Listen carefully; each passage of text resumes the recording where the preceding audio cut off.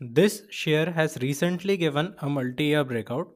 The share we are talking about is HFCL. So this is the monthly time frame chart. It has tested 88 rupees level here and here.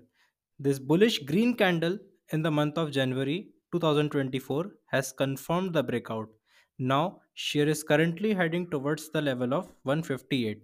If you like this information, add it to your watch list.